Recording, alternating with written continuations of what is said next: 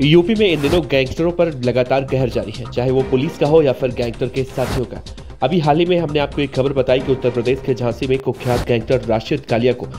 S ने एक encounter में ठोक दिया इस घटना को बीते भी दो दिन नहीं हुआ कि यूपी के मेरठ में एक और गैंगस्टर को मौत की घाट उतार दिया गया है हालांकि जो गैंगस्टर इस गैंगवॉर में मारा गया है वो कुछ दिन पहले ही जेल से बाहर आया था लेकिन इसके मामले में थोड़ा सा अलग एंगल देखने को मिल रहा है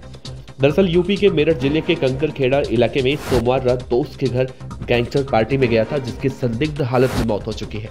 अब से कुछ देर पहले परिवार वालों को जब इसकी जानकारी हुई तो परिवार वाले गैंगस्टर के दोस्तों पर हत्या का आरोप लगाकर पुलिस को तहरीर दे रहे हैं पुलिस ने फिलहाल शव को पोस्टमार्टम के लिए भेज दिया है पोस्टमार्टम रिपोर्ट आने के बाद आगे की कार्रवाई की बात कही जा रही है पुलिस ने ये कहा है कि मरने वाले पर छह साल पहले कंकरखेड़ा थाने में गैंगस्टर का मुकदमा दर्ज किया गया था वो जेल से पांच दिन पहले ही छोड़कर बाहर आया था कंकरखेड़ा थाना प्रभारी देवेश कुमार सिंह ने कहा है कि मंगलवार को थाने के बाहर पहुंचे गैंगस्टर के परिवार वाले ने मृतक गैंगस्टर के दोस्त पर हत्या का आरोप लगाते हुए तहरीर दी है इसमें कंकरखेड़ा गैंगस्टर के परिवार वालों ने कहा है कि पांच दिन पहले उसका चौबीस साल का भाई साहिल जेल से छोड़कर घर आया था सोमवार की रात वो और उसका भाई साहिल दोनों घर पर थे इसी दौरान गोविंदपुर इलाके के रहने वाले कवेश पाल नाम के एक व्यक्ति वहां पर पहुंचते हैं कवेश ने साहिल से कहा कि उसके घर पर एक पार्टी है जहां पर उसकी बुआ भात नौतने आई है ये बताकर लेकर उसके साथ चलने की जिद करने लगा इसके बाद साहिल कविश के साथ उसके घर गया वही देर रात तक जब घर नहीं आया तो परिवार वालों को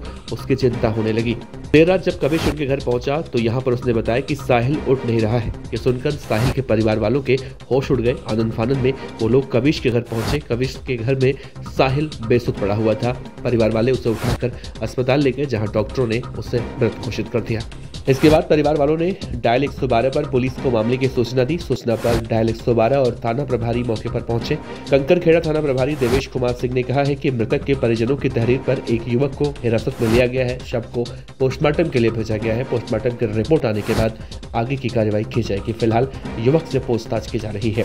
अब गैंगस्टर साहिल की मौत कैसे हुई ये पोस्टमार्टम रिपोर्ट के बाद खुलासा होगा लेकिन अगर आप जानना चाहते हैं इस खबर पर अपडेट रहना चाहते हैं तो आप हमारे चैनल को सब्सक्राइब कर सकते हैं आपको साहिल गैंगस्टर के केस में एक एक बातें हम बहुत ही विस्तार से बताते रहेंगे आपका बहुत बहुत शुक्रिया